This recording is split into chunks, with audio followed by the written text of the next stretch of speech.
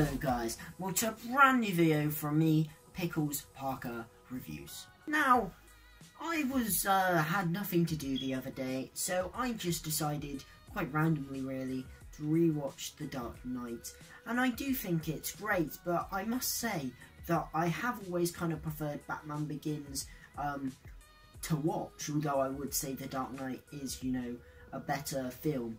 But watching it, I just thought The Dark Knight it's just such a great film. Not just a superhero film, but just a great film, just generally, and it deserves all the credit it gets. But one thing that really, you know, uh, stuck out to me was Heath Ledger's Joker.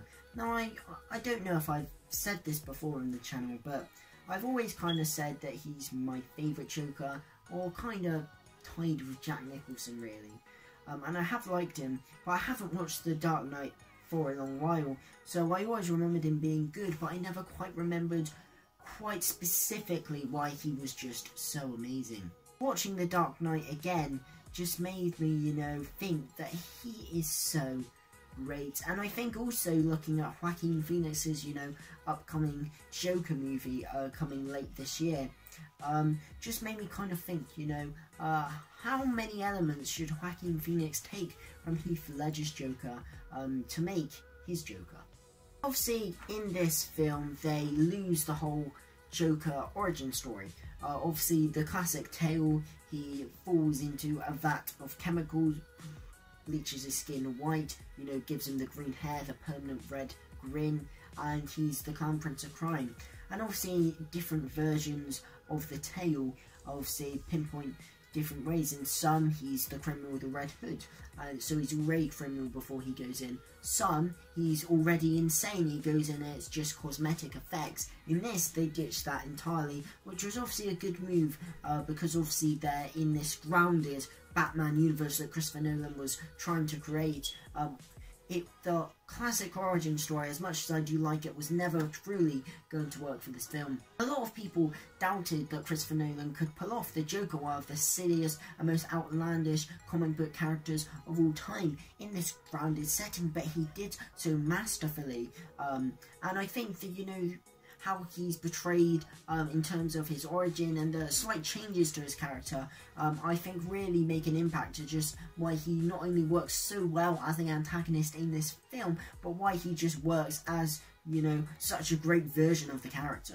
Going back to the origin stories, obviously they got rid of the whole, you know, uh, falls into a vat of chemicals, but what was a clever move if they didn't try and uh, you know, replace that with a more grounded origin story. What they do is they don't really give you an origin story at all because it's not what was before that's important. It's what's here now. It's what the Joker is now that's important. You know, what he was before isn't important and in theory uh, nothing that he was really before or in any time in the past is like it resembles who he is now that's why the joker doesn't have a name um, which is something i'm a bit slightly you know not annoyed but disappointed with with this new Joker movie because obviously his name is Arthur Fleck. Obviously with this being centered on the Joker's origins, there wasn't a way they possibly could have got away from that.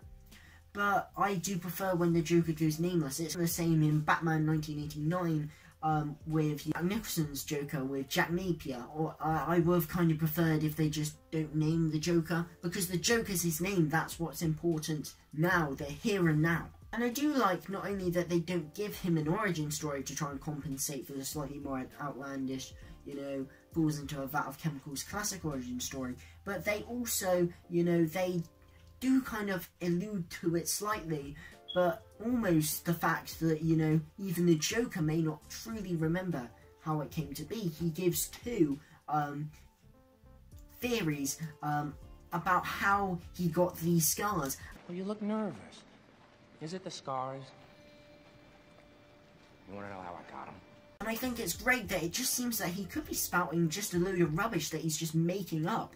Because maybe the Joker truly doesn't know how he became the Joker, you know, obviously there's the one about his dad and how his dad was a drinker and then put, you know, the knife in his mouth and said, why so serious? Such interestingly, uh, why that quote, why so serious, is so associated with Heath Ledger's Joker, because he only says it once in the film.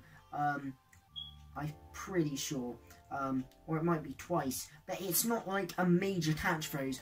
Although I do think it was quite prevalent in the marketing, come to think of it, after looking at a few, you know, uh, movie posters and things. He does, obviously, puts the blade in his mouth and that's how he gets it. But then when speaking to Rachel, he gives another, you know, story, which uh, is slightly different, where his wife uh, got scars um, and he really wanted to tell her just how much he loved her and that he didn't care about the scars. So he gave the grin himself and then she couldn't stand him. And both of these are kind of like polar to each other.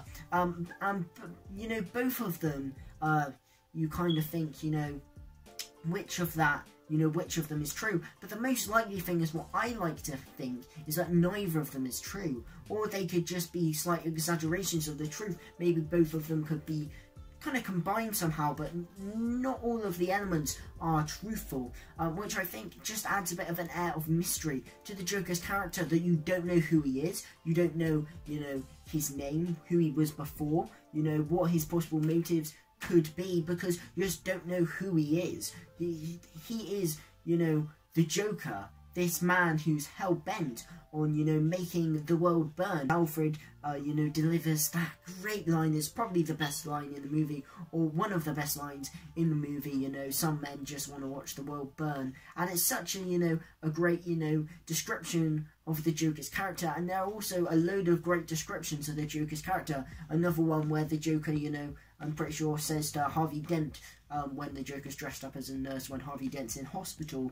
Um, he says he's an agent of chaos. And it feels like both Heath Ledger and, you know, Christopher Nolan, despite changing slight aspects of the character, really know deep down who the Joker is and what makes him so special as a villain. But going now onto the portrayal, I really like how the Joker is presented as more than just a criminal. The Joker has it in his line, he's like, all you care about is money, uh, you make me sick. Gotham needs a better class of criminal, and I'm going to give it to him.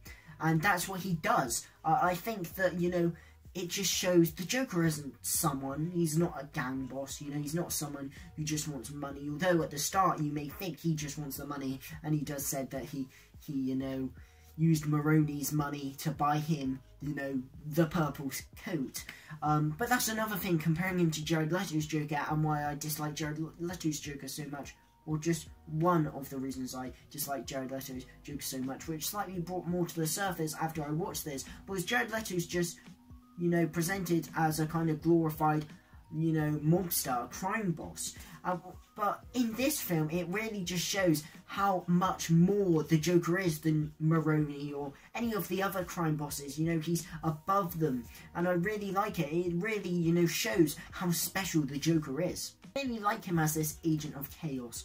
You know, this person, you, you know, he, he constantly, you know, subverts uh, not our, just our expectations, but, you know, the actual Gothamites in The Dark Knight, you know, because he's always lying. He's always got another thing up his sleeve. Like, he keeps on saying he'll kill more people, you know, until Batman's unmasked. But he doesn't want Batman, you know, to be unmasked at all. Um, and, you know, he keeps on doing things to play with everyone's mind. Um, and, you know, his plan to show the darker sides of everyone, to show that everyone is, you know, like uh, you know, criminals, that everyone can be swayed to the dark side, culminates in that brilliant scene uh, with the two boats, which I absolutely love. It's such an intelligent plan by the Joker, and you know, it truly makes you think, what would I do in that situation? You know, you've got those criminals there, yes, but you've also got the guards, but also there's a reason these criminals aren't dead.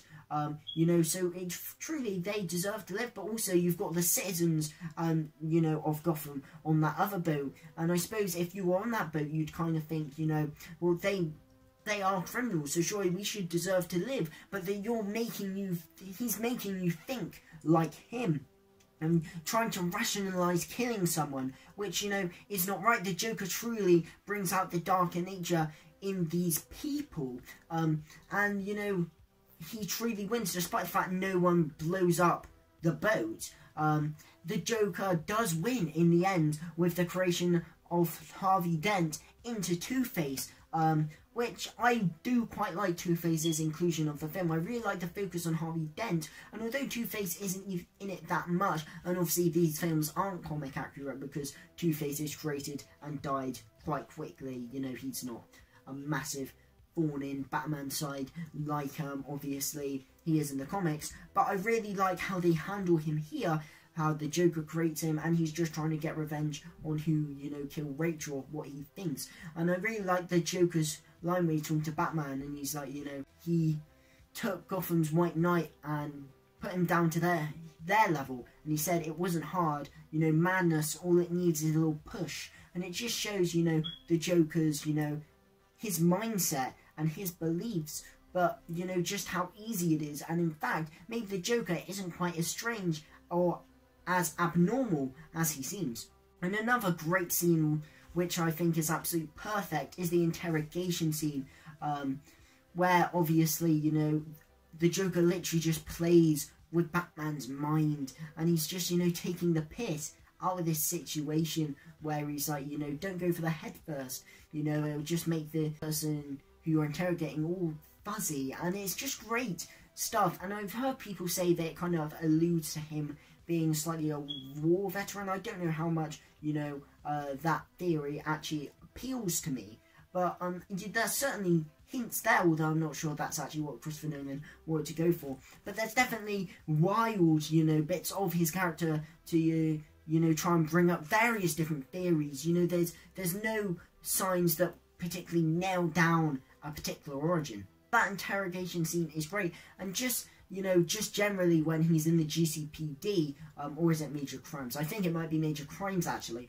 But you know, when he's held there, he puts the, the phone in that guy, um, and you know, just how he can, you know, uh, get out of situations, persuade people, you know, make them play his games. I just think shows just how powerful the Joker as a character is. And although he may not have the origin and, you know, he may not have the, the classic look, although I do think his, you know, um, his makeup give him quite a sinister look to him, but I think it's sinister and kind of modernized in the right way compared to Suicide Squad's horrendous, uh, just visual look of the Joker. I hate the tattoos, I hate the grills, I hate the slick back green hair. I hate, you know, that he's all beefed up, and I hate that he just goes around wearing this, you know, scaled version of the classic purple coat. Um, you know, with a bare chest. That's not the Joker.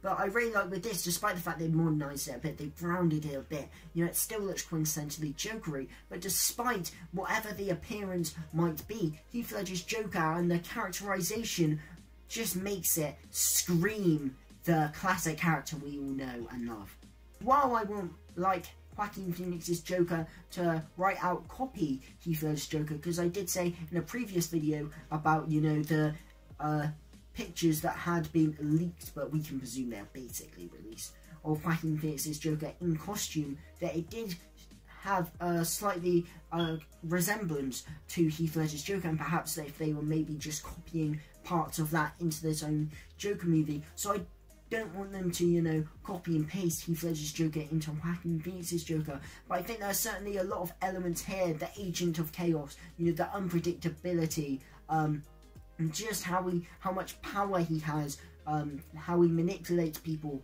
um, that I just would really want them to take into that movie because those aspects introduced well, not introduced, but really brought to the forefront in The Dark Knight and Heath Ledger's portrayal are some of my favourite aspects of the classic comic book villain. So, thank you guys for watching. I hope you enjoyed uh, this video. I was just watching The Dark Knight and I thought I love Heath Ledger's Joker. I thought, why not do a video on it, especially as uh, later on the year we'll have we're having the uh, you know the Joker movie, so I could slightly give a like you know a bit of comparisons and things and I just love Heath Ledger's Joker you know I always thought he was good but going back and watching that I just thought yeah that's why people say he's one of the best Jokers if not the Joker and that's why Heath Ledger's turn is such a definitive portrayal yeah, thank you guys for watching. If you've enjoyed this video, leave a like and drop a sub and hit that notification button to stay notified for all my latest videos.